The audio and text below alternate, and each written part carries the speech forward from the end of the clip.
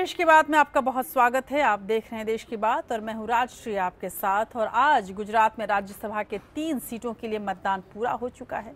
सभी 176 विधायकों ने अपने वोट डाल दिए हैं। इस बीच कांग्रेस ने क्रॉस वोटिंग करने वाले अपने दो विधायकों के वोट रद्द करने की मांग की है। गुजरात में राज्यसभा की इन तीनों सीटों की लड़ाई, नाक की लड़ाई बनी हुई है, चाहे वो बीजेपी के लिए हो या फिर कांग्रेस के लिए, विशेषकर अहमद पटेल की सीट को किसी भी हाल में बीजेपी हथिया लेना चाहती है, उधर अहमद पटेल अपनी हार का मतलब समझते हैं और कांग्रेस उनकी हार का असर समझती है। इसीलिए कांग्रेस का आरोप है कि उनकी पार्टी के दो विधायकों ने अपने बैलेट पेपर बीजेपी के प्रिसाइडिंग ऑफिसर को दिखाए हालाँकि बीजेपी इन वोटों को सही बता रही है। कांग्रेस ने इस मामले की शिकायत चुनाव आयोग से कर चुकी है, जिसके कारण चुनाव के नतीजे आने में देरी हो रही है। उधर कांग्रेस नेता और पार्टी के थिंक टैंक जयराम रमेश ने कहा है कि कांग्रेस में अस्तित्व का संकट पैदा हो गया है।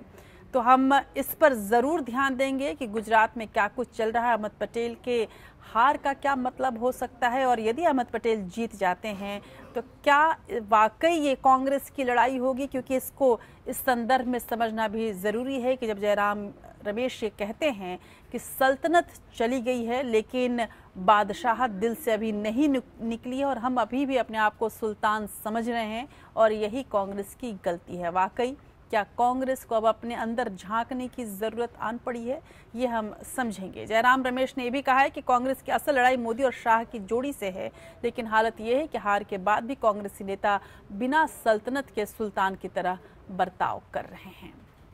तो कांग्रेस के संदर्भ में आज की राजनीति को समझना बेहद ज़रूरी है, क्योंकि आज का दिन कांग्रेस पर भारी पड़ेगा या कांग्रेस के भविष्य को थोड़ा बहुत बचाने में अपनी मदद करेगा।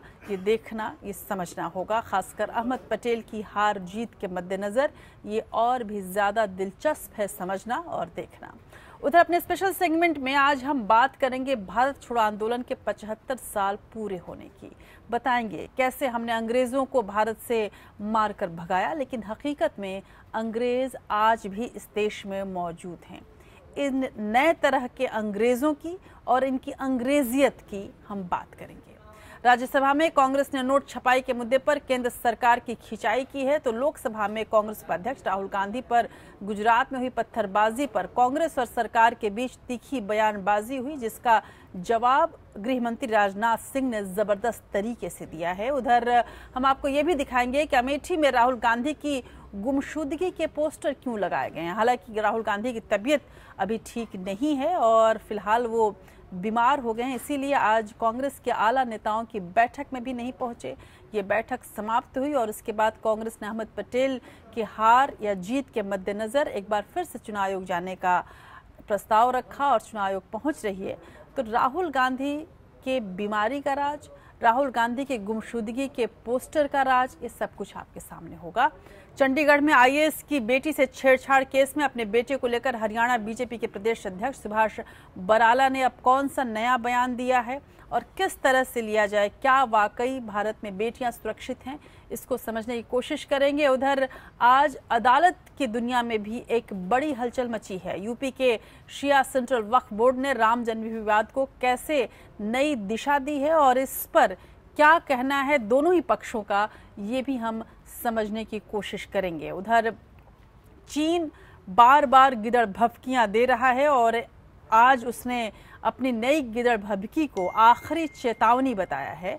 हम आपको दिखाएँगे कि चीन किस तरह से अब भारत के साथ लड़ने की बात कर रहा है। उधर अमेरिकी थिंक टैंक ने भारत से जलन के पीछे चीन की क्या वजह बताई है, ये भी हम दिखाएँगे आपको और इस बीच क्रिकेटर इरफान पठान को रक्षाबंधन के मौके पर हाथ में राखी बांधे अपनी तस्वीर सोशल मीडिया पर शेयर करना पड़ गया कैसे महँगा। और ये भी इस पूरी घटना के संदर्भ में ये भी हम समझने की कोशिश करेंगे कि क्या हाल के दिनों में बढ़ी हैं मुस्लिम समाज में असहिष्णुता की घटनाएँ छोटी छोटी घटनाओं पर जो फतवा जारी हो जाता है, जिस तरह से तमाम मुस्लिमों को माफ़ी मांगनी पड़ती है, क्या ये समझा जाए कि मुस्लिम समुदाय अब धीरे धीरे ज़्यादा असहिष्णु होता जा रहा है? हालाँकि पहले भी ये तमाम घटनाएँ हम देखते रहे हैं, लेकिन इस बीच जो इस तरह की घटनाएँ बढ़ रही हैं, चाहे वो बिहार में हो रही हो, चाहे मध्य प्रदेश में हो रही हो, श्री राम का नारा लगाने पर फतवा हो जाता है, ओम नमः शिवाय कहने पर फतवा हो जाता है, और और तो और राखी का एक धागा दिखाने पर भी फतवा हो जाता है। गंगा जमनी तहजीब वाले इस देश में इस तरह की घटनाओं को कैसे लिया जाए और क्यों न इसकी भर्सना की जाए, ये भी हम आपको दिखाएँगे।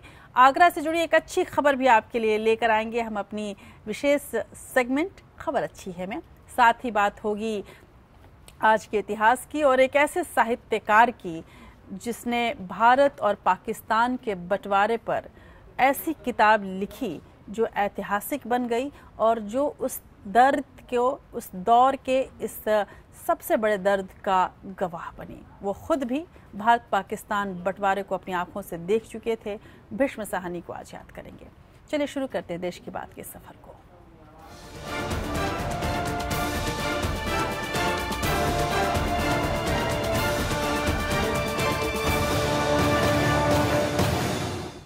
सियासत में और ख़ासकर चुनाव के दौरान तरह तरह के खेल करतब दिखाई देते रहते हैं। लेकिन जैसा कि उम्मीद जताई जा रही थी कि गुजरात में राज्यसभा के तीन सीटों के लिए चुनाव पूरे सियासी उबाल पर रहेगा, वही हुआ। दो विधायकों के वोट रद्द करने के, कांग्रेस की मांग के चलते मतगणना शुरू नहीं हो पाई।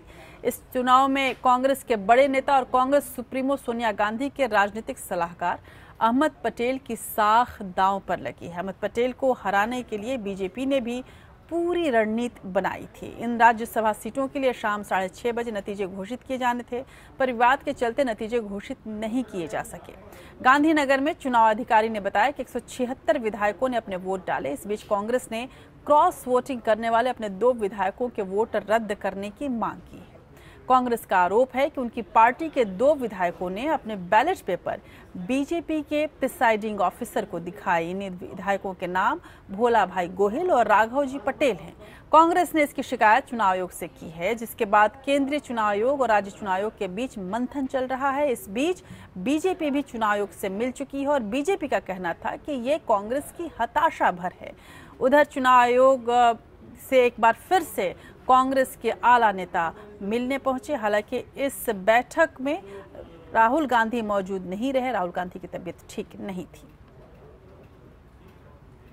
भोला भाई गोहिल और राघव राघव जी भाई पटेल, जिन्होंने राज्यसभा चुनाव में अपना वोट डालने के बाद पार्टी के एजेंट को दिखाने की बजाय उन्होंने भाजपा के राष्ट्रीय अध्यक्ष अमित शाह केंद्रीय मंत्री स्मृति ईरानी और जो एक इंडिपेंडेंट उम्मीदवार हैं बलवंत सिंह राजपूत, उनको वो वोट दिखाया। कानून के मुताबिक rule 39 conduct of election rules के मुताबिक, ये वोट खारिज होना चाहिए। वीडियो में ये बाकायदा रिकॉर्ड हुआ है। इलेक्शन ऑब्जर्वर वहाँ मौजूद थे। उधर बीजेपी ने अपने छह मंत्रियों को चुनाव आयोग भेजा और उनसे ये कहा गया कि जाकर वह चुनाव आयोग के सामने अपनी स्थिति को स्पष्ट करें। चुनाव आयोग से कांग्रेस नेताओं की मुलाकात के तुरंत बाद बीजेपी के प्रतिनिधिमंडल ने भी केंद्रीय चुनाव आयोग से मुलाकात की। इस दल में पीयूष गोयल, मुख्तार अब्बास नकवी, धर्मेंद्र प्रधान शामिल रहे। इस बीच बीजेपी नेता भूपेंद्र यादव ने कहा कि ये कांग्रेस की हताशा है कि उसने मतगणना को रुकवा दिया है। जब कांग्रेस को लग रहा है कि हम हार रहे हैं तो बेबुनियाद आरोप लगा रहे हैं, जो कभी नहीं लगाया गया था। इसलिए हम लोगों ने चुनाव आयोग से बार बार कहा है कि कांग्रेस पार्टी के इस हार की हताशा के लिए फिशिंग इंक्वायरी का मौका नहीं दिया जाए। इसीलिए अरुण जेटली जी आए, हम सभी आए। हमने चुनाव आयोग को साफ़ साफ़ कहा है कि एक बार जब बैलेट पेपर बक्से में बंद हो गए तो कहाँ से खोजेंगे कि दो किसके थे? जब मतपत्र बैलेट बॉक्स में चला गया है, आप छह घंटे तक बैठे रहे, छह घंटे तक आप वोटिंग कराते रहे, और छह घंटे के बाद आपको ध्यान में आ रहा है। रिटर्निंग अफसर का आदेश है, केंद्रीय चुनाव आयोग ने जो ऑब्जर्वर रखे उसका आदेश है, और हमारा ये मानना है कि ऐसे निराधार विषयों के कारण चुनाव प्रक्रिया को रोकना, वोटिंग की प्रक्रिया को रोकना, कांग्रेस पार्टी की हताशा को और उनके वैचारिक दिवालिये, दिवालियेपन को दर्शाता है। लेकिन कांग्रेस इस तरह से हार मारना नहीं चाहती, इसीलिए एक बार फिर से गुलाम नबी आज़ाद और आनंद शर्मा चुनाव आयोग पहुँचे हैं और वहाँ चुनाव आयोग से मुलाकात करके अपनी स्थिति को स्पष्ट करना चाहते हैं और वो बताना चाहते हैं कि किस तरह से क्रॉस वोटिंग हुई है। उधर कांग्रेस ने क्रॉस वोटिंग करने वाले अपने दो विधायकों के वोट रद्द करने की मांग पहले ही कर दी थी, लेकिन इसके लिए राहत की खबर यह है कि जेडीयू विधायक छोटू बसावा ने दावा किया है कि उन्होंने अहमद पटेल को ही वोट दिया है। उनका बयान जेडीयू महासचिव केसी त्यागी के बयान से उलट है, जिसमें उन्होंने कहा था कि जेडीयू विधायक ने बीजेपी उम्मीदवार को वोट दिया है। कांग्रेस विधायकों की बगावत के अलावा एनसीपी ने भी कांग्रेस को झटका दिया। एनसीपी ने बीजेपी उम्मीदवार के समर्थन का ऐलान किया। हालाँकि बाद में एनसीपी के एक विधायक ने यूपीए के साथ रहने का दावा किया। वहीं दूसरी तरफ़ एक विधायक ने कांग्रेस उम्मीदवार अहमद पटेल को वोट दिया। कांग्रेस महासचिव और गुजरात प्रभारी अशोक गहलोत ने दावा किया कि अहमद पटेल को ज़रूरी 45 वोट मिलकर रहेंगे। गहलोत का दावा है कि 43 कांग्रेसी विधायकों, एक जेडीयू और एक एनसीपी के विधायक ने अहमद पटेल को वोट दिया है। इस तरह 45 वोटों के साथ उनकी जीत सुनिश्चित है, जबकि बीजेपी अपनी जीत का दावा दिन भर करती रही। एक बार मत पार्टी में वोट पड़ गया, उसके बाद इलेक्शन पिटिशन के अलावा और कोई रास्ता नहीं है। जिससे ये वोट वोटिंग प्रोसेस को रोका जा सके। हमने रिक्वेस्ट की है कि तुरंत काउंटिंग शुरू की जाए और काउंटिंग का निर्णय हमें नहीं मालूम क्या होगा। शायद उनको ज़्यादा अच्छा मालूम है क्योंकि उनके वोटर ने उन्हीं को दिखाया है। तो कुल मिलाकर यदि देखा जाए तो अहमद पटेल की हार या जीत दोनों के दोनों ही कांग्रेस के लिहाज से बेहद अहम है, इसमें कोई शक नहीं और उतनी ही अहम है बीजेपी के लिहाज से। बीजेपी अहमद पटेल को हराकर एक नए तरह का संदेश देना चाहती है और वो संदेश कुछ ऐसा है जिसके तहत लोगों को ये समझना होगा कि अब बीजेपी के अलावा और कोई विकल्प नहीं है और हो सकता है कि 2019 विपक्ष रहित, कांग्रेस रहित हो जाए। लेकिन कांग्रेस इस हार और जीत का मतलब समझती है। अहमद पटेल की हार का मतलब है कांग्रेस के आला कमान की हार, कांग्रेस की शान की हार। इसी वजह से तमाम तरह की कवायदें की गई अहमद पटेल के इस सीट के लिए। शंकर सिंह बाघेला ने जैसी बगावत के सुर ऊपर किए कांग्रेस सचेत होने लगी। हालाँकि चेतने में थोड़ी देरी हो गई। इसके पहले ही कांग्रेस के कुछ विधायक बीजेपी में शामिल, कांग्रेस के कुछ नेता बीजेपी में शामिल होने की घोषणा कर चुके थे गुजरात कांग्रेस में। उधर, इस डर को अब देखते हुए अहमद पटेल ने 44 विधायकों को लेकर वो कर्नाटक की ओर चले गए। बेंगलोर में जाकर एक रिजॉर्ट में रहा गया। काफ़ी लंबे समय तक बीजेपी उसकी आलोचना करती रही। और जैसे ही वोटिंग का वक्त आया, इन सब लोगों को लाया गया। लेकिन कांग्रेस अध्यक्ष सोनिया गांधी के राजनीतिक सलाहकार अहमद पटेल के राज्यसभा जाने की राह में बीजेपी ने हर अड़चन खड़ी की। कांग्रेस का आरोप है कि विधायकों की खरीद फरोख्त की जा रही है। नोटा के इस्तेमाल को अनिवार्य बनाने के पीछे यही मंशा कांग्रेस देखती रही। उधर कांग्रेस के लिए अहमद पटेल को चुनाव जिताना प्रतिष्ठा का प्रश्न बन, बना रहा। अहमद पटेल का कहना था कि बीजेपी अध्यक्ष अमित शाह को उनसे निजी दुश्मनी है लेकिन इस सियासी संग्राम में कांग्रेस मुक्त अभियान से इसको जोड़कर देखा जा रहा है। और अभी भी शायद यही बात है जिसकी वजह से बीजेपी इसे अंतिम लड़ाई की तरह ले रही है और कांग्रेस इस डर को समझती है, इस हार को समझती है, इसीलिए वो भी आखिरी वक्त तक लड़ते दिखना चाह रही है। सियासत में किसी का अहमद पटेल होना काफ़ी मायने रखता है। अहमद पटेल, यानी अघोषित डिप्टी हाई कमान आज कांग्रेस उनकी सलाहों पर चलने को मजबूर है। अहमद पटेल की जेब में गुजरात कांग्रेस रहती रही है। पार्टी के भीतर उनके आलोचक कहते रहे हैं कि अहमद पटेल की मदद से नरेंद्र मोदी और बीजेपी को डेढ़ दशक से राज करने का मौका मिला है, क्योंकि वहाँ पार्टी को कमज़ोर करने में उनकी खासी भूमिका रही है। 1988 में अमिताभ बच्चन के कंसर्न को कराकर पार्टी के लिए ढाई करोड़ रुपए इकट्ठा करने वाले अहमद पटेल को 2001 में सोनिया गांधी का सलाहकार बनाए जाने पर पूरी पार्टी की कमान उन्हें हासिल हो गई। आमतौर पर बहुत कम लोगों से मिलने वाले। अहमद पटेल का मानना है कि बीजेपी अध्यक्ष अमित शाह से उनकी व्यक्तिगत रंजिश है। इसीलिए अहमद पटेल के खिलाफ सियासी ताना बाना पुना जा रहा है। बताया जा रहा है कि पीएम मोदी और अमित शाह को कानूनी दाव पेच में फंसाने के पीछे अहमद पटेल का ही हाथ रहा है। सोहराबुद्दीन फर्जी एनकाउंटर में गुजरात की गृह मंत्री अमित शाह को जेल भेजा गया था। 2005 के जुलाई महीने में जेल गए। अमित शाह को 90 दिन जेल में काटने पड़े थे। कहते हैं कि अमित शाह ने उसी दिन कांग्रेस, गांधी परिवार और अहमद पटेल से हिसाब बराबर करने का संकल्प ले लिया था। घटना के 12 साल बाद आज हुकूमत अमित शाह की मुट्ठी में है और सड़क पर अहमद पटेल खड़े हैं, जहाँ आला कमान अहमद पटेल को अपना करीबी रणनीतिकार मानती है। वहीं पार्टी के भीतर भी अहमद के विरोधियों की तादाद बढ़ती जा रही है। जिस बलवंत सिंह राजपूत को बीजेपी ने अहमद के खिलाफ उतारा है। वो कभी पटेल की आँखों का तारा थे। उन्हें पार्टी का मुख्य सचेतक भी अहमद पटेल के लाडले होने की वजह से ही बनाया गया था। मज़े की बात यह है कि पीएम मोदी और अमित शाह कांटे से कांटा निकालने में यकीन करते हैं। लिहाजा बलवंत सिंह को उनके ही सियासी कत्ल की ज़िम्मेदारी सौंप दी गई कभी चाय बेचकर करोड़पति बने गोकुल ब्रांच के मालिक बलवंत सिंह राजपूत को पटेल की नजदीकियों की वजह से मुख्य सचेतक भी बनाया गया था। इसी तरह बीजेपी के बागी शंकर सिंह वाघेला भी अहमद पटेल की मंजूरी के बगैर कांग्रेस में शामिल नहीं हो सकते थे आजीवन संघ की विचारधारा की राजनीति करने वाले बापू वाघेला एक बार फिर बागी हो गए और आज अमित शाह उनके कंधे से ही अहमद पटेल पर बंदूक चला रहे हैं कहा जा रहा है कि बीजेपी के कम से कम 20 विधायक वाघेला के संपर्क में हैं। अहमद पटेल से अमित शाह और नरेंद्र मोदी की व्यक्तिगत दुश्मनी भले ही हो, लेकिन उन्हें राज्यसभा जाने से रोकने के कई और भी मायने हैं। अव्वल तो ये कांग्रेस के चाणक्य और बीजेपी के कौटिल्य के बीच का संग्राम है। पटेल को राज्यसभा जाने में पहले ही खतरा नज़र आ रहा था। इसीलिए वाघेला को राज्यसभा की सीट का प्रस्ताव दिया गया था। लेकिन वाघेला को बीजेपी में इज्जतदार वापसी के साथ दूसरे सियासी फ़ायदे की डील मिलने पर वे टस से मस नहीं हुए। दूसरी और अहम बात यह है कि अहमद पटेल को घेरने के मायने बहुत गहरे हैं। समझा जाता है कि 10 जनपद की जान इसी तोते में बसती है। समझा ये भी जा रहा है कि अहमद पटेल ही गांधी परिवार के असली राजदार हैं।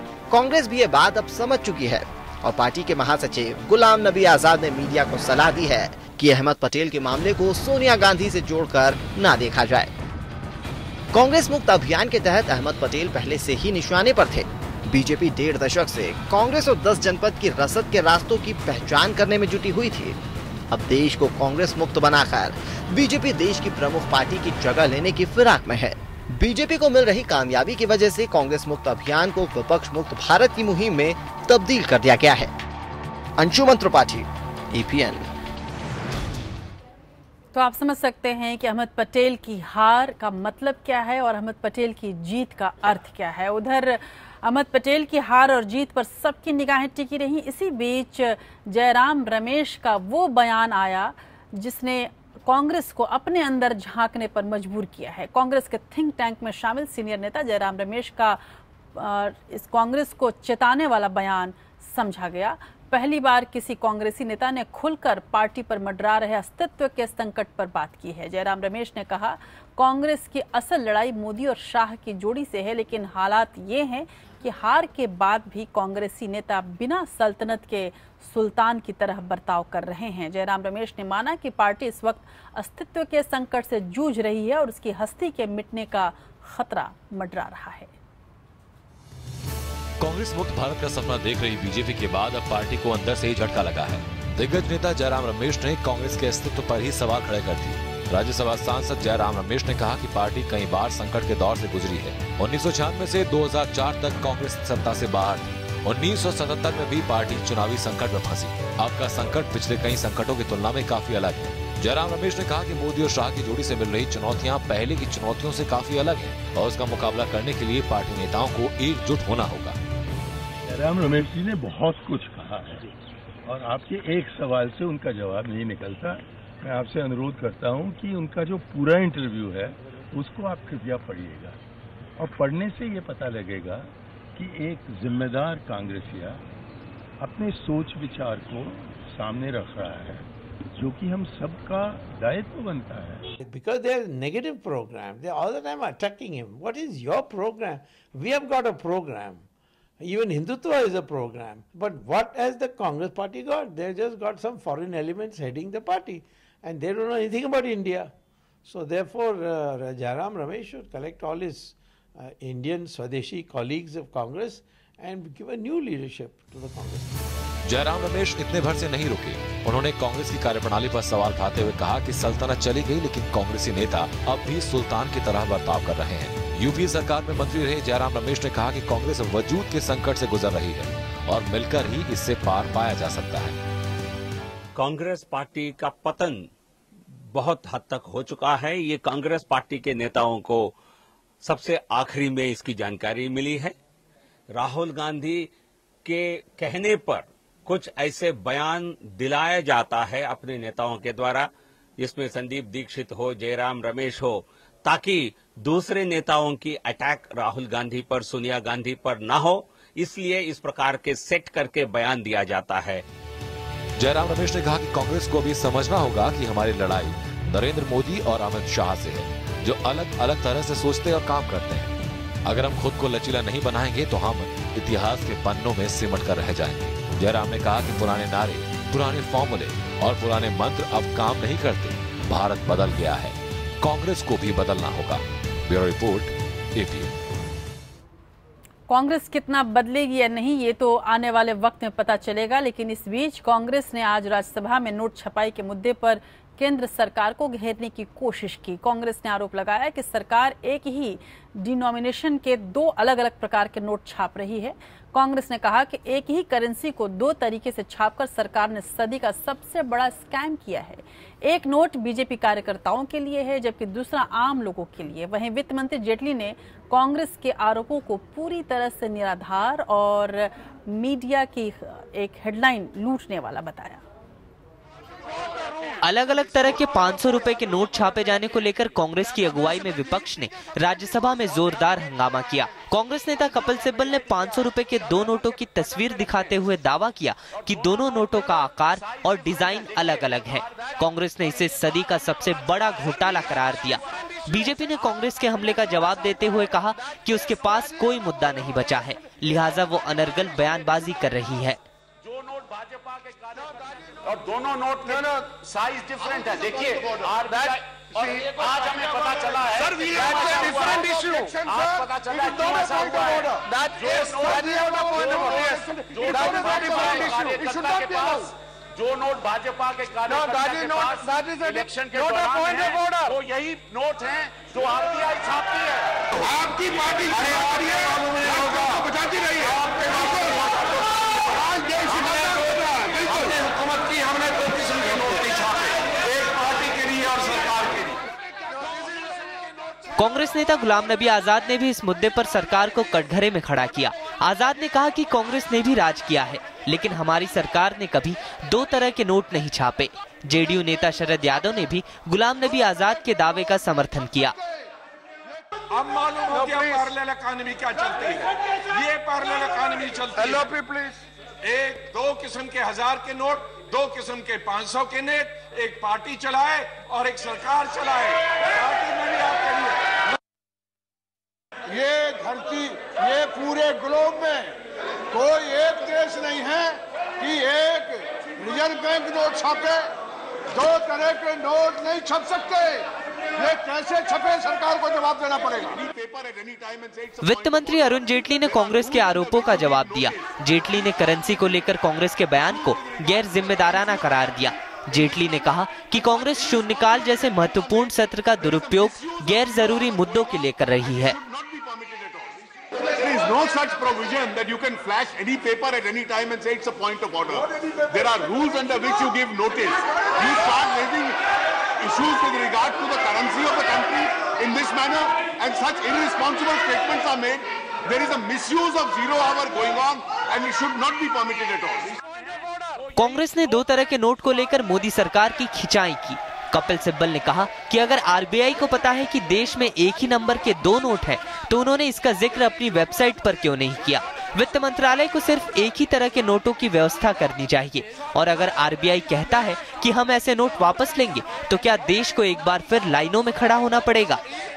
ब्यूरो रिपोर्ट एपीएन इस बीच कांग्रेस उपाध्यक्ष राहुल गांधी पर गुजरात में हुई पत्थरबाजी पर लोकसभा में कांग्रेस और सरकार के बीच तीखी बयानबाजी हुई। राजनाथ सिंह ने कहा कि अपने 121 विदेश दौरों में राहुल ने 100 बार प्रोटोकॉल का उल्लंघन किया है। लोकसभा में राजनाथ सिंह ने कहा कि पत्थर वाली घटना पर बड़ी संख्या में सुरक्षा कर्मियों को तैनात किया गया था।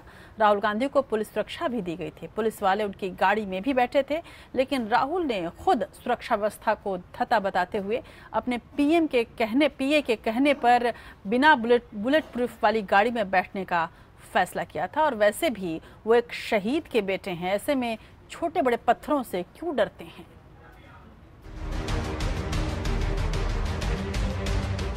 लोकसभा में कांग्रेस के नेता मल्लिकार्जुन खड़गे ने बनासकांठा में राहुल गांधी के काफिले पर हुई पत्थरबाजी का मामला उठाया।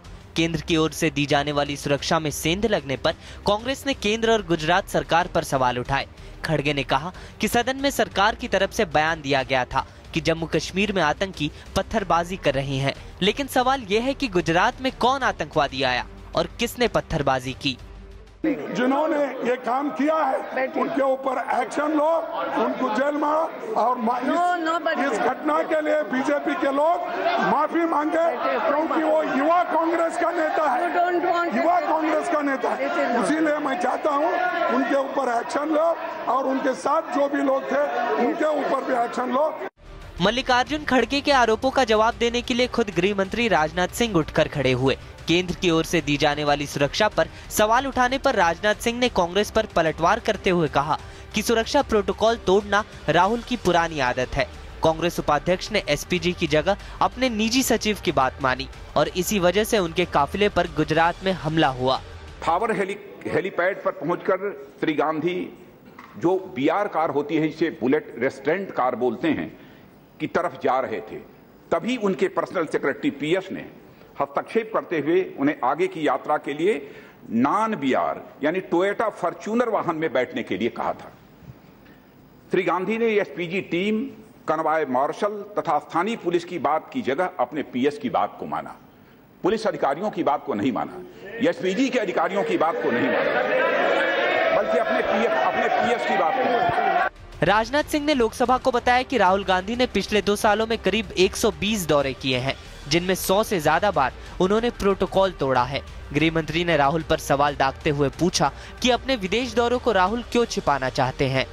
पिछले दो वर्षों में श्री गांधी छह विदेशी दौरों में बहत्तर दिन बाहर रहे हैं। इन बहत्तर दिनों की अवधि में एसपीजी कवर उनके साथ नहीं रखा गया है अध्यक्ष महोदय स्वाभाविक है ये देश जानना चाहेगा या सदन जानना चाहेगा कि विदेश में कहाँ गए। क्यों नहीं उन्होंने एसपीजी कवर लिया? एसपीजी कवर तो इसीलिए मिला हुआ था। वो चाहे देश में रहें अथवा विदेश में रहें, बराबर एसपीजी कवर उनके साथ रहेगा, लेकिन जानबूझकर एसपीजी कवर को इसी देश में छोड़ देते हैं और वह विदेशों की यात्रा करते कांग्रेस सांसदों ने राजनाथ सिंह के बयान के दौरान लोकसभा में नारेबाजी की। हंगामे के बीच सदन की कार्यवाही स्थगित करनी पड़ी। 12 बजे दोबारा कार्यवाही शुरू होने के बाद भी सदन में हंगामे के कारण कार्यवाही बुधवार तक के लिए स्थगित करनी पड़ी। ब्यूरो रिपोर्ट एपीएन और बात जब राहुल गांधी की हो रही है तो आपको बता दें कि कांग्रेस उपाध्यक्ष के संसदीय क्षेत्र अमेठी में उनकी गुमशुदगी के पोस्टर चस्पा किए गए हैं। अमेठी में जगह जगह चिपकाए गए पोस्टर में लिखा है कि राहुल गांधी लापता हैं, जिसके कारण क्षेत्र का विकास ठप पड़ गया है। पोस्टर में उन्हें ढूंढ कर लाने वाले को इनाम देने की भी घोषणा की गई है।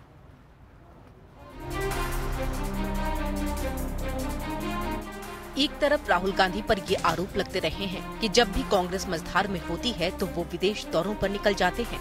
तो अब वहीं उनके संसदीय क्षेत्र के लोग भी उनकी तलाश में दिन रात एक किए हुए हैं। कांग्रेस उपाध्यक्ष राहुल गांधी के संसदीय क्षेत्र अमेठी में जगह जगह उनके लापता होने के पोस्टर लगाए गए। पोस्टर किसने लगाए या लगवाए हैं, इस बारे में कोई जानकारी नहीं है। लेकिन पोस्टर के नीचे अमेठी की जनता का सौजन्य दिया गया है। देखिए कुछ शरारती अराजक तत्व हैं जो आरएसएस से संबंधित हैं।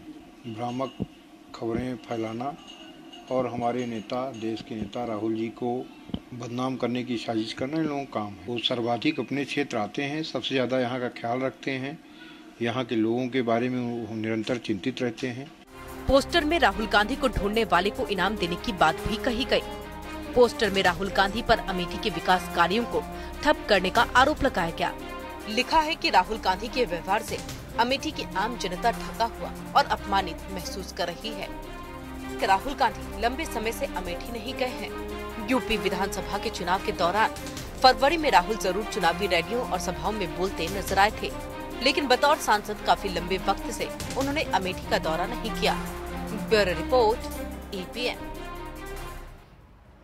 उधर चंडीगढ़ का रुख करते हैं। चंडीगढ़ में आईएएस की बेटी से छेड़छाड़ केस में हरियाणा बीजेपी के प्रदेश अध्यक्ष सुभाष बराला बेटे पर आरोप लगाने के लगने के बाद पहली बार मीडिया के सामने आए।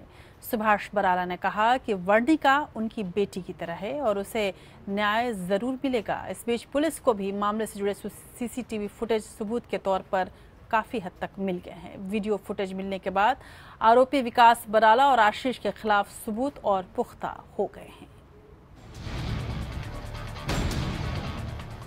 चंडीगढ़ छेड़खानी केस में हरियाणा पुलिस को पाँच सीसीटीवी कैमरों की फुटेज मिली है। जिसमें हरियाणा बीजेपी के प्रदेश अध्यक्ष सुभाष बराला का बेटा विकास, पीड़ित लड़की वर्णिका का पीछा करता हुआ दिखाई दे रहा है। पहले सीसीटीवी कैमरों की फुटेज न मिलने को लेकर आलोचना झेल रही पुलिस ने। अब मौका वारदात की फुटेज मिलने की पुष्टि की है। इस फुटेज के सामने आने के बाद सुभाष बराला के बेटे विकास बराला और उसके दोस्त आशीष पर लगे आरोप और मज़बूत हो गए हैं। मैं बहुत खुश हूँ कि ये फुटेज आगे आई है। मेरे को भरोसा था सिस्टम पे और ये बहुत पॉजिटिव डेवलपमेंट हुई है मेरे केस में। आईएएस की बेटी से छेड़छाड़ केस में बेटे पर आरोप लगने के बाद हरियाणा बीजेपी प्रदेश अध्यक्ष सुभाष बराला पहली बार कैमरे के सामने आए। वणिका को अपनी बेटी बताते हुए सुभाष बराला ने कहा कि उसे न्याय ज़रूर मिलेगा। उनका और बीजेपी का इस मामले से कोई लेना देना नहीं है। वरिणका कुंड को न्याय दिलाने के लिए विकास और आशीष पर जो भी नियमानुसार कार्रवाई बनती है, वो कार्रवाई होनी चाहिए। भारतीय जनता पार्टी बेटियों की आज़ादी की समर्थक है और वरिणका कुंडू मेरी बेटी के समान है। इस मामले में मेरा या भारतीय जनता पार्टी का किसी पर किसी भी तरह का कोई दबाव नहीं है और ना ही होगा। इस बीच सुभाष बराला के परिवार से जुड़ा एक और मामला सामने आ गया है। सुभाष बराला के परिवार के दो लड़कों, कुलदीप और विक्रम पर एक नाबालिग लड़की को किडनैप करने की कोशिश और छेड़खानी का मुकदमा दर्ज हो चुका है। इस मामले में नाबालिग पीड़िता ने न्याय की गुहार लगाते हुए पंजाब हरियाणा हाईकोर्ट में याचिका दाखिल की थी। उस याचिका पर सुनवाई करते हुए मंगलवार को हाईकोर्ट ने राज्य सरकार से स्टेटस रिपोर्ट तलब की है। और हरियाणा सरकार को एक नोटिस भी जारी किया जिसके साथ ही अब सुभाष बराला और उनके परिवार की मुश्किलें और बढ़ सकती हैं। Bureau report A P APN और अब देखते हैं नेशनल टॉप फाइव खबरें। इसमें हर दल खुद के फ़ायदे के लिए एक होगा और बीजेपी को पाँच साल का मौका और मिलेगा।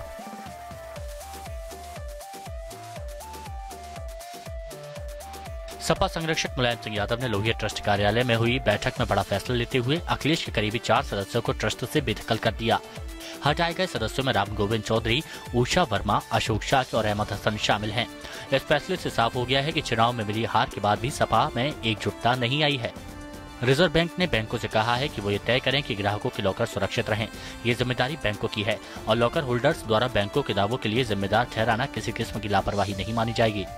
श्रीलंका की सेना ने देश के समुद्री क्षेत्र में कथित रूप से मछली पकड़ने के आरोप में 50 भारतीय मछुआरों को गिरफ़्तार कर लिया। भारतीय मछुआरे 12 नौकाओं में सवार थे। श्रीलंका में समुद्र के सतह में जाल बिछाकर मछली पकड़ना गैर कानूनी है। रूस में चल रही इंटरनेशनल आर्मी गेम में भारतीय सेना ने भी हिस्सा लिया है। भारतीय सेना इस प्रतियोगिता के दूसरे राउंड में पहुँच गई है।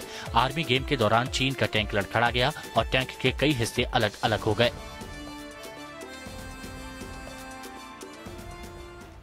उधर यूपी के शिया सेंट्रल वक्फ बोर्ड ने राम जन्मभूमि विवाद को नई दिशा दे दी है। शिया वक्फ बोर्ड ने कहा कि ढहाई गई बाबरी मस्जिद उसकी प्रॉपर्टी थी और अब वो मस्जिद को विवादित स्थल से दूर कहीं मुस्लिम बहुल इलाके में बनाना चाहता है। इस मामले में 11 अगस्त को सुप्रीम कोर्ट सुनवाई करने वाला है और शिया वक्फ बोर्ड ने खुद ये बात सुप्रीम कोर्ट को दिए हलफनामे में कही है। शिया वक्फ बोर्ड ने कहा कि हम इस विवाद का हल शांतिपूर्ण तरीके से चाहते हैं। मस्जिद को कहीं मुस्लिम बहुल इलाके में बनाना चाहिए, जो अयोध्या में श्री राम जन्मभूमि की जगह से उचित दूरी पर हो। 11 अगस्त से सुप्रीम कोर्ट में राम जन्मभूमि, बाबरी मस्जिद विवाद की सुनवाई से पहले नया मोड़ आया है। शिया वक्फ बोर्ड ने इस मामले पर सुप्रीम कोर्ट में एक हलफनामा दाखिल किया है। इस हलफनामे में शिया वक्फ बोर्ड ने कहा कि विवादित ज़मीन पर राम मंदिर बनाना चाहिए और उससे थोड़ी दूर पर मुस्लिम इलाके में मस्जिद बनाई जानी चाहिए। अपने हलफनामे में बोर्ड ने तर्क देते हुए कहा कि दोनों धार्मिक स्थल के पास होने से झगड़े की आशंका होगी। मंदिर और मस्जिद दोनों में लाउड स्पीकर का इस्तेमाल किया जाता है। बोर्ड ने यह भी कहा कि साल 1940 तक बाबरी मस्जिद उनके पास थी। अंग्रेज़ों ने गलत कानून प्रक्रिया से इसे सुन्नी वक्फ बोर्ड को दे दिया। इसलिए इस मामले में दूसरे पक्षकारों के साथ बातचीत और एक शांतिपूर्ण समाधान तक पहुँचने का अधिकार केवल उसी के पास है। उस मामले पर बाबरी मस्जिद एक्शन कमेटी की ओर से कहा गया कि कानून की नज़र में सलफनामे की कोई अहमियत नहीं है।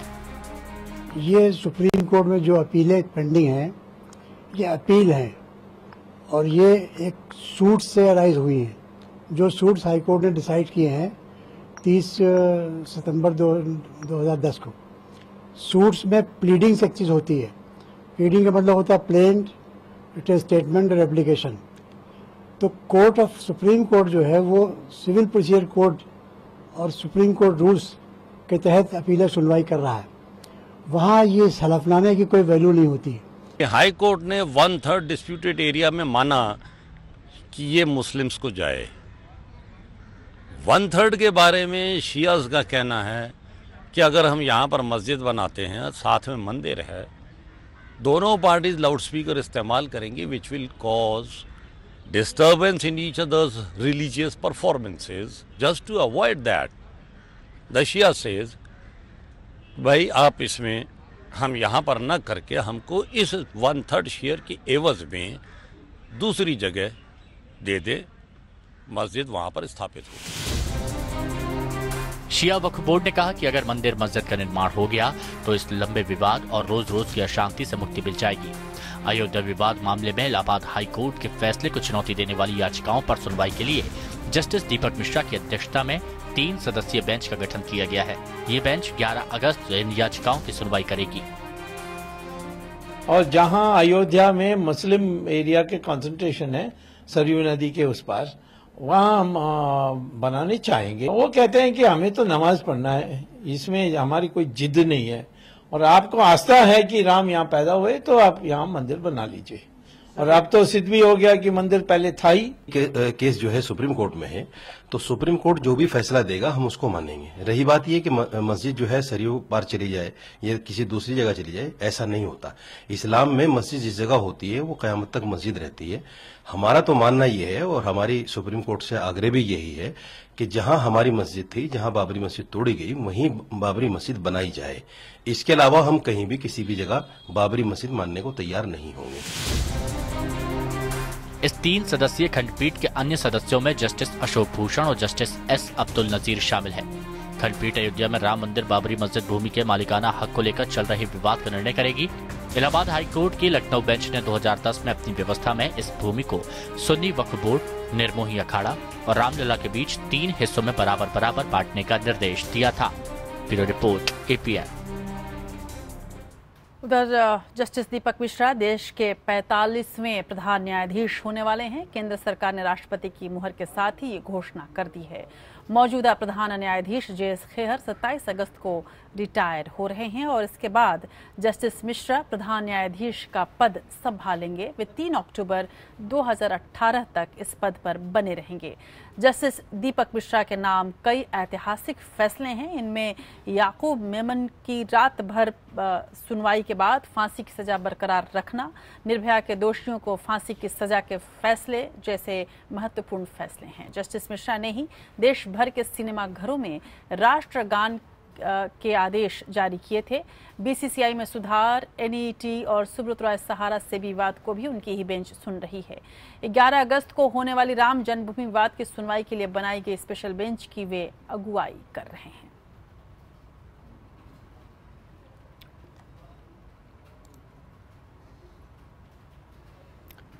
और अब नज़र डालते हैं लीगल टॉप फाइव खबरों पर। सुप्रीम कोर्ट ने राष्ट्रीय योग नीति बनाने और देश भर में सभी स्कूलों में पहली से आठवीं कक्षा तक योग अनिवार्य करने की मांग वाली याचिका खारिज कर दी। कोर्ट ने कहा कि हम ये कहने वाले कोई नहीं कि स्कूलों में क्या पढ़ाया जाना चाहिए। सुप्रीम कोर्ट ने सरदार सरोवर बाँध प्रोजेक्ट के विस्थापितों को और समय देने से इनकार कर दिया। कोर्ट ने 31 जुलाई की डेडलाइन बढ़ाने से इनकार कर दिया। मध्य प्रदेश सरकार ने कहा कि वो विस्थापितों के लिए तमाम इंतज़ाम कर रही है। जम्मू कश्मीर में अल्पसंख्यक आयोग बनाने और हिंदुओं, सिखों, बौद्धों और अल्पसंख्यकों के लाभ देने के मसले पर जवाब न दाखिल करने पर सुप्रीम कोर्ट ने केंद्र और राज्य सरकार को कड़ी फटकार लगाई है। सुप्रीम कोर्ट ने दोनों को निर्देश दिया कि तीन महीने में इस दिशा में काम कर कोर्ट में रिपोर्ट दाखिल करें। जेएनयू के लापता छात्र नजीब अहमद के मामले में दिल्ली हाईकोर्ट ने सीबीआई को आज कड़ी फटकार लगाई। हाईकोर्ट ने सीबीआई से कहा कि वो इस मामले में नई रिपोर्ट दाखिल करे, क्योंकि उसकी ओर से दाखिल की गई ताज़ा रिपोर्ट में कुछ भी नया नहीं है। गाजियाबाद में भूगर्भ जल का रंग लाल होने के मामले में इलाहाबाद हाईकोर्ट ने प्रमुख सचिव पर्यावरण से पूछा कि ज़मीन के नीचे का पानी लाल कैसे हो गया। हाईकोर्ट ने इस बारे में 30 अगस्त तक हलफनामा मांगा है। साथ ही कोर्ट ने निर्देश न मानने पर सचिव को अवमानना नोटिस जारी किया। हाईकोर्ट ने सदस्य सचिव प्रदूषण नियंत्रण बोर्ड के खिलाफ भी कार्रवाई करने का निर्देश दिया है।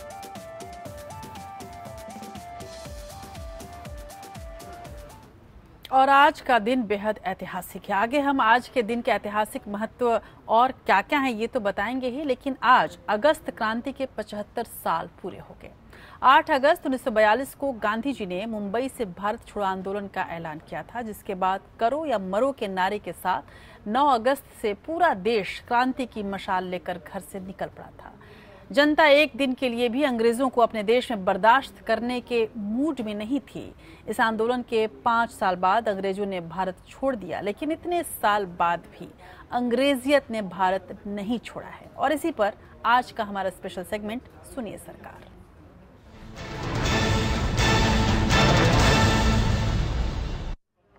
इसमें कोई शक नहीं कि जब से प्रधानमंत्री पद पर नरेंद्र मोदी बैठे, तब से उन्होंने हिंदी, हिंदुत्व और हिंदुस्तानियत को तवज्जो दिया है। लेकिन भारत छोड़ो आंदोलन के 75 साल पूरे हो गए। इसी दिन देश ने अंग्रेज़ों के खिलाफ आखिरी जंग का ऐलान किया था। एकजुट होकर हमने अंग्रेज़ों को भारत से मार भगाया। लेकिन हकीकत ये भी है कि तमाम कोशिशों के बाद भी अंग्रेज़ आज भी इस देश में मौजूद हैं। लगता तो यही है कि अंग्रेज़ कहीं नहीं गए, बल्कि उन्होंने अपना रूप बदल लिया है। आज भी हमारे देश में अंग्रेजियत की हुकूमत चलती है। आज भी हिंदी और हिंदुस्तानी बेहद पीछे नज़र आते हैं, यदि उनके सामने अंग्रेज़ और अंग्रेजियत खड़ी हो जाती है। आज की हकीकत अब बदल देने की ज़रूरत है। उन तमाम काले अंग्रेज़ों को इस हिंदुस्तान से भगाने की ज़रूरत है, जिन्होंने हमारे सिस्टम पर कब्जा कर लिया है और जो हमारे मानसिकता पर कब्जा करके बैठे, हमारे जहन पर कब्जा कर कर बैठे हैं और जो हमें ये एहसास दिलाते रहते हैं अपने ही घर में कि हम कमतर हैं। क्या सच में अंग्रेज़ों की गुलामी के बाद अब देश में आम आदमी को आज़ादी से जीने का अधिकार हासिल हो सका है? क्या देश को अंग्रेज़ों द्वारा बनाए गए कानूनों से मुक्ति मिल सकी है? क्या देश को अंग्रेजियत से मुक्ति हासिल हो सकी है? ऐसे तमाम सवाल हैं जिनका जवाब देश का आम नागरिक तलाश रहा है। शिक्षा व्यवस्था हो, या न्यायपालिका, या फिर ब्यूरोक्रेसी हो, या पुलिस प्रशासन। हर व्यवस्था आज भी अंग्रेजियत की पेड़ियों में जकड़ी हुई है। आज़ादी के बाद महात्मा गांधी ने कहा था कि संसद में जो भी अंग्रेज़ी बोलेगा, उसे मैं गिरफ़्तार करवा दूँगा। लेकिन बाबू अपने जीते जी अंग्रेज़ी बोलने वाले किसी सांसद को जेल भिजवाना तो दूर।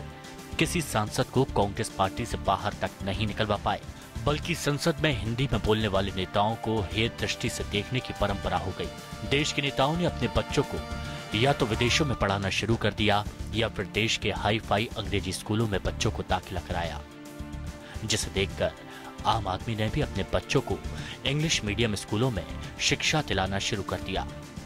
आज हिंदी गरीब और पिछड़े लोगों की भाषा बन गई है, जबकि अंग्रेज़ी अभिजात वर्ग की भाषा। ब्रिटिश शिक्षाविद मैकाले का मानना था कि जब तक संस्कृति और भाषा के स्तर पर गुलाम नहीं बनाया जाएगा, भारत को हमेशा के लिए या पूरी तरह गुलाम बनाना संभव नहीं होगा। लॉर्ड मैकाले की सोच थी कि हिंदुस्तानियों को अंग्रेज़ी भाषा के माध्यम से ही सही और व्यापक अर्थों में गुलाम बनाया जा सकता है। और फिर अंग्रेज़ों ने जिस मैकाले शिक्षा पद्धति को गुलाम भारत पर थोपा, वो आज भी जस के तस लागू है। इंजीनियरिंग हो या मेडिकल की पढ़ाई या फिर मैनेजमेंट की पढ़ाई। ऐसा कोई संस्थान नहीं जहाँ हिंदी में पढ़ाई होती हो। ऐसे में सरकारी स्कूलों में हिंदी में पढ़ा होनहार छात्र भी तकनीकी शिक्षा में पिछड़ रहा है। आज़ादी के सत्तर साल बाद भी हिंदी अपमानित हो रही है। देश में हिंदी को बचाने के लिए मुहिम चलाई जाती है, लेकिन अंग्रेज़ी बिना मुहिम के ही फल फूल रही है। पूरे विश्व में एक भी ऐसा राष्ट्र नहीं है जहाँ विदेशी भाषा को शासन की भाषा बताया गया हो, सिवाय भारत के। हज़ारों वर्षों की सांस्कृतिक, भाषिक परंपरा वाला भारत आज भी भाषा में गुलाम है। और आश्चर्य की बात यह है कि अंग्रेज़ी का सबसे अधिक वर्चस्व देश के हिंदी भाषी प्रदेशों में है। सुप्रसिद्ध विचारक हॉवेल का कहना है कि किसी भी देश और समाज के चरित्र को समझाने की कसौटी केवल एक है, और वो यही कि उस देश और समाज की भाषा से सरोकार क्या है? समय ज़्यादा लग जाए, लेकिन अगर भारत को वास्तव में एक स्वाधीन राष्ट्र बनना है तो हमें हिंदी को उसका दर्जा दिलाना होगा। ब्यूरो रिपोर्ट एपीएन जी हाँ तो 75 साल पूरे होने के, इस आंदोलन के पूरे होने पर शायद अब ये सोचने की ज़रूरत है कि अब इस देश से अंग्रेजियत को भी चले जाना चाहिए। चलिए, बात अंग्रेज़ और अंग्रेज़ों की हो गई। चाइनीज़ की बात करते हैं और चीन की बात करते हैं। चीन के सरकारी अखबार हर एक दिन भारत को जंग की धमकी दे रहे हैं। चीनी थिंक टैंक भारत को बर्बाद करने की कस्में खा रहे हैं। अपनी इस आदत को बरकरार रखते हुए चीन एक बार फिर से भारत को धमका रहा है। चीन के सरकारी अखबार ग्लोबल टाइम्स ने लिखा कि भारत को सही रास्ते पर लाने के लिए वो कुछ भी कर सकता है। इसी बीच एक वीडियो मैसेज जारी करके भी चीन की तरफ़ से कहा गया है कि यदि भारत ने अपनी सेना पीछे नहीं हटाई तो चीन युद्ध करेगा। चीन ने एक बार फिर डोकलाम को लेकर भारत को धमकी दी है। चीन के सरकारी मीडिया ने कहा कि अगर भारत डोकलाम विवाद पर चेतावनी को इसी तरह नजरअंदाज करता रहा तो बीजिंग ज़रूरी जवाबी कदम उठाएगा।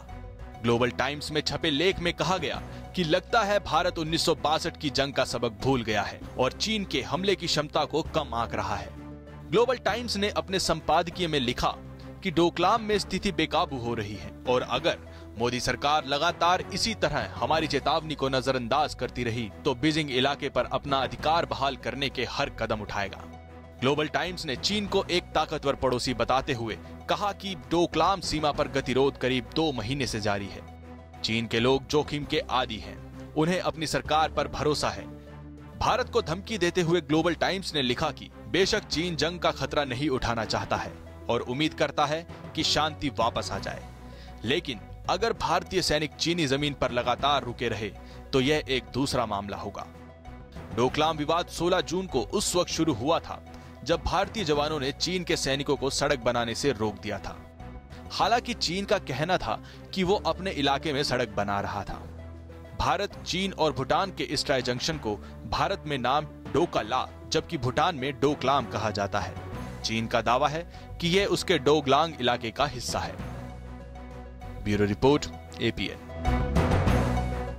इधर भारत से जलन के पीछे चीन की खास वजह है। दरअसल, शी जिनपिंग को लगता है कि मोदी चीन के विस्तारवादी रवैये में सबसे बड़े बाधक हैं। चीन को ये लगता है कि आने वाले वक्त में भारत उसे हर क्षेत्र में टक्कर देने देने का मादा रखता है। लिहाजा, चीनी राष्ट्रपति जिनपिंग इस बात से खासे चिंतित हैं। उनकी चिंता का एक कारण ये भी है कि भारत को रूस के साथ यूरोप और अमेरिका का भी समर्थन हासिल हो रहा है। इसीलिए चीन जल्दबाजी में भारत के प्रति हर कदम उठा रहा है। क्या चीनी राष्ट्रपति शी जिनपिंग प्रधानमंत्री मोदी को अपना प्रतिद्वंदी मानते हैं? क्या चीन को लगता है कि मोदी के नेतृत्व में बढ़ता भारत उसे चुनौती दे सकता है? भारत और चीन के बीच चल रहे डोकलांग विवाद पर शीर्ष अमेरिकी चीनी विशेषज्ञ बोनी ग्लेसर ने कहा कि चीनी राष्ट्रपति शी जिनपिंग की नज़र में प्रधानमंत्री मोदी एक ऐसे नेता हैं जो भारतीय हितों के लिए खड़े होते हैं।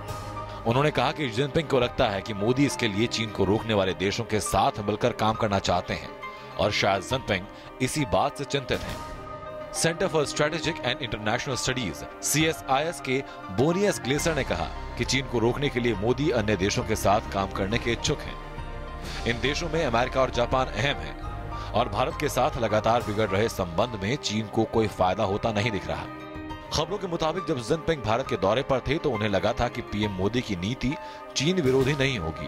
लेकिन ये जिनपिंग के लिए कारगर नहीं रहा और भारत लगातार चीन के बराबर खड़ा होने की कोशिश करता दिखाई दे रहा है। थिंक टैंक के मुताबिक चीन भारत को एक बड़ी चिंता मानता है, जो लंबे समय में उसके लिए खतरा पैदा कर सकता है। हालाँकि उनका मानना है कि हाल के समय में बड़ी चिंता ये है कि भारत दूसरे देशों के साथ आ रहा है, जिससे वो एशिया में चीन के महाशक्ति बनने में दीवार बन रहा है। बोनियस ग्लेसर ने लिखा कि चीन भारत को रक्षात्मक तौर पर तो कोई खतरा नहीं मानता, पर राजनीतिक तौर पर वो बड़ा खतरा है। ब्यूरो रिपोर्ट एपीएन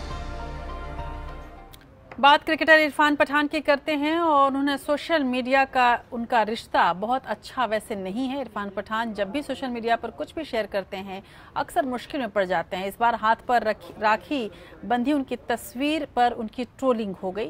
लोगों ने इरफान पठान को तमाम नसीहतें दे दी। पठान पहले भी ट्रोलिंग के शिकार हो चुके हैं, लेकिन इन ट्रोलर्स को ये भी देखना चाहिए कि अहमदाबाद की रहने वाली पाकिस्तान में जन्मी कमर मोहसिन ने भी प्रधानमंत्री नरेंद्र मोदी को राखी बांधी है और राखी बांधने की ये जो हमारे यहाँ परंपरा है, वो अपने आप में एक धनी परंपरा का हिस्सा है। ऐसे में जब इरफान पठान ने राखी बंधे हाथ अपना पोस्ट किया तो ज़ाहिर सी बात है कि उनकी भावनाओं का कद्र करना चाहिए, न कि उन्हें ट्रोल करना चाहिए। हालाँकि जिसने भी इरफान पठान को ट्रोल किया, उसमें सबसे ज़्यादा कमेंट्स मुस्लिमों की तरफ़ से आए। वैसे ये पहली बार नहीं है जब मुस्लिम समाज के कुछ ठेकेदारों ने मज़हब के नाम पर अपनी आवाज़ बुलंद की है। हाल के दिनों में ऐसे कई वाक़े सामने आए हैं और अब ज़रूरी है कि इन तमाम ठेकेदारों के चेहरे से नकाब हटाया जाए। हाल के दिनों में मुस्लिम समाज में बढ़ रही असहिष्णुता की कई घटनाएँ सामने आई हैं। बिहार विधानसभा में पिछले महीने 28 जुलाई को जेडीयू बीजेपी गठबंधन के विश्वास मत हासिल करने के बाद नीतीश के मंत्रिमंडल में एकमात्र मुस्लिम मंत्री जेडीयू के खुर्शीद उर्फ़ फिरोज अहमद, जय श्री राम का नारा लगाने के कुछ घंटे बाद ही मुसीबत में गिर गए। उनके खिलाफ इमारत शरिया ने फतवा जारी कर दिया। फतवे की माने तो इससे फिरोज का निकाह भी खत्म हो गया और उन्हें दोबारा निकाह करने के लिए मुफ्ती से माफ़ी मांगनी होगी। हालाँकि फिरोज ने जय श्री राम का नारा लगाने को सही ठहराते हुए अपने बचाव में कई तर्क दिए। फिरोज ने तर्क दिया कि अगर जय श्री राम का नारा लगाने से बिहार की 10 करोड़ जनता का फ़ायदा होता है तो वो सुबह शाम जय श्री राम कहेंगे। उन्होंने कहा कि इस्लाम में नफरत करने की कोई जगह नहीं है। इस्लाम की बुनियाद मोहब्बत और प्रेम है। वो रहीम के साथ साथ राम को भी पूछते हैं। खुदा उनकी आत्मा में बसते हैं। जय श्री राम कह देने से अगर दस करोड़, साढ़े दस करोड़ जनता की भला होती है तो मैं सुबह शाम श्री राम कहता रहूँगा। वहीं मध्य प्रदेश की कांग्रेस नेता नूरी खान एक वीडियो सोशल मीडिया पर जारी करने के बाद काजी के निशाने पर आ गई। वीडियो में वह ओम नमः शिवाय का जप करते हुए दिखाई दे रही हैं।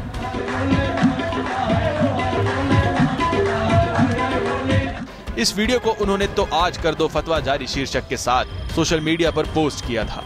शहर काजी खलीकुर रहमान ने इसे नूरी खान का पॉलिटिकल स्टंट बताया। काजी ने कहा कि यात्रा का मकसद अगर हिंदू मुस्लिम एकता है तो बहुत बढ़िया है। मगर जब करना धर्म का विषय है। नूरी के जब से धार्मिकता का कोई लेना देना नहीं।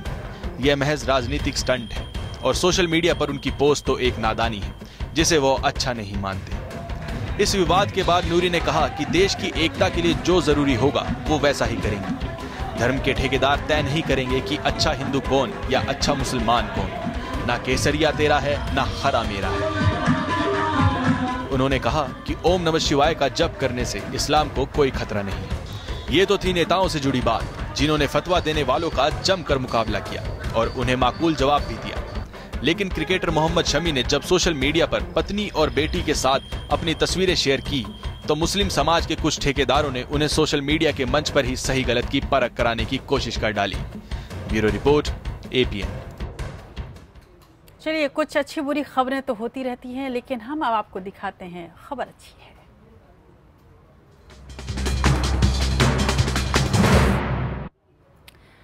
अपने इस खास सेगमेंट में हम समाज के उस चेहरे को आपके सामने लेकर आते हैं, जो समाज को धीरे धीरे बदल रहा है, अच्छाई की ओर लेकर जा रहा है। आगरा में एक बहन ने अपने भाई को नया जीवन देते हुए उसे यमराज के मुँह से छीन लिया।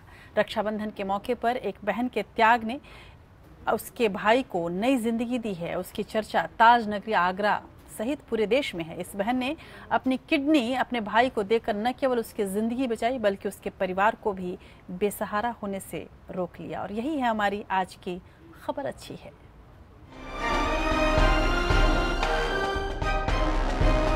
भाई बहन के प्रेम के प्रतीक पर्व रक्षाबंधन के शुभ मौके पर तिलक लगाकर अपनी भाई की लंबी उम्र की कामना करती इस बहन ने बड़ा त्याग किया है। आगरा के विजयनगर कॉलोनी निवासी अपने भाई और अधिवक्ता को मौत के मुँह में जाने से बचा लिया। विवेक सारा भाई आज अपनी छोटी बहन वंदना की बदौलत ज़िंदा है और जल्द ही उन्हें अस्पताल से छुट्टी मिल जाएगी। रक्षा सूत्र बहन अपने भाई को बांधती है ताकि वह मुसीबत के वक्त उसकी रक्षा कर सके। लेकिन ताज नगरी आगरा में एक बहन ने रक्षाबंधन के मौके पर अपने भाई की जान बचाकर मिसाल पेश की है। बहन वंदना ने अपने भाई विवेक की किडनी फेल होने पर उन्हें अपनी किडनी देकर दोबारा नई ज़िंदगी दे दी है। रक्षाबंधन के दिन वंदना ने अपने भाई को रक्षा सूत्र बांधकर उसकी लंबी उम्र की कामना की। मैं बहुत ही खुश हूँ कि मैंने अपने भाई को अपना एक फ़र्ज़ समझ करके उसकी जान को बचाया है और इससे बढ़कर के कोई भी दान नहीं है। अगर आप किसी की भी लाइफ को सेव करें, ये समझ करके कि हम उसको जीवन प्रदान कर रहे हैं और उससे बड़ा कोई दान नहीं है, वो सबसे बड़ा महादान है। और मैं उम्मीद करती हूँ कि सभी को इस कदम के लिए अपना योगदान देना चाहिए। अपने भाई के जीवन की डोर को बहन वंदना ने ऐसे थामा कि अपने लाडले भाई एडवोकेट विवेक सारा भाई को नया जीवन मिल गया। आज राख, राखी के महीने मेरे लिए बदल चुके हैं। आज रक्षाबंधन का त्यौहार जिस दिन भाई जो है वो बहन की रक्षा करने के लिए राखी बनवाता है मगर आज बहन ने भाई की रक्षा करके एक मेरे को नई ज़िंदगी दी है जो एक आ, ऐसा पल है जो मतलब मैं शब्दों में बयान नहीं कर सकता। विवेक की किडनी खराब होने के कारण इस घर का माहौल काफ़ी गमगीन था। विवेक की पत्नी बेटे से लेकर घर के सभी सदस्यों के चेहरों पर उदासी थी। हर कोई उन्हें अपनी किडनी देकर बचाना चाहता था, लेकिन किसी की किडनी मैच नहीं हुई। सबसे पहले विवेक की बड़ी बहन ने अपने भाई विवेक को किडनी देने की पेशकश की, लेकिन उनकी किडनी भाई से मैच नहीं हुई। उसके बाद छोटी बहन वंदना ने अपनी किडनी देने का फैसला किया। वंदना की किडनी विवेक से मैच हो गई। फिर डॉक्टरों ने किडनी ट्रांसप्लांट कर सफल ऑपरेशन किया। आज विवेक अपनी बहन की वजह से ज़िंदा है।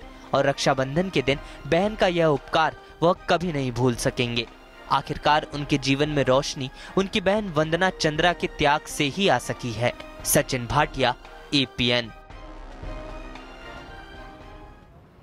और देश की बात के आखिरी पड़ाव में अब बात देश और दुनिया के आज के इतिहास की।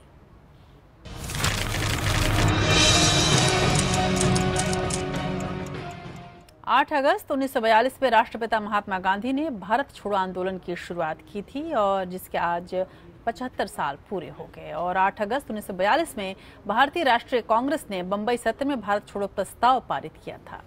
8 अगस्त 1945 में तत्कालीन सोवियत संघ ने द्वितीय विश्व युद्ध में जापान के खिलाफ युद्ध की घोषणा कर दी थी और 8 अगस्त 1988 में 9 साल के लंबे युद्ध के बाद रूसी सेना ने अफ़गानिस्तान से अपने सैनिकों की वापसी शुरू की थी। आज के देश की बात में बस इतना ही। मुझे दीजिए इजाज़त, देखते रहिए एपीएन नमस्कार।